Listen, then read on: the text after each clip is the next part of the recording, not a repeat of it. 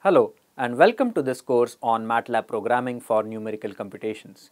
We are in week 9 of this course and in this week we are going to cover the topics of regression and interpolation. You have been already been introduced to these topics in your secondary school and high school. Regression at that time was known as curve fitting, interpolation was nothing but joining the dots. In this week we are going to cover these two topics regression and interpolation. So, what do we have in store for you this week? I'm, I'm going to uh, bring up over here. Okay. This used to be covered in the original course from 2016 onwards. I used to cover this in week number 6. However, based on the feedback from various students, I realized that this was amongst the more tougher courses uh, or amongst the more tougher uh, concepts to grasp. As a result, I have moved this to week number 9 we have we are covering this after covering ordinary differential equations which were covered in week number 7 and 8.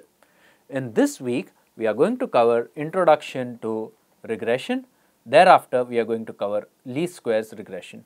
As I said you you are known you have known this in the form of fitting the curve y equal to mx plus c.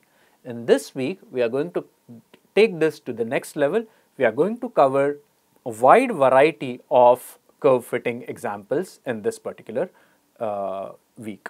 Thereafter, we are going to talk about functional and nonlinear regression in order to make this regression topic very useful.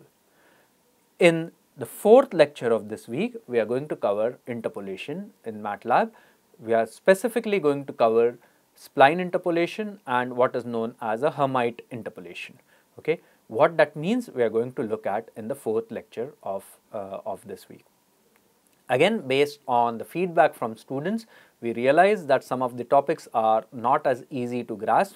As a result, we have a tutorial on linear and nonlinear regression that will wrap up this particular week. With that, I come to the end of this overview. I hope you will enjoy learning these concepts in the ninth week of this course. Thank you and bye.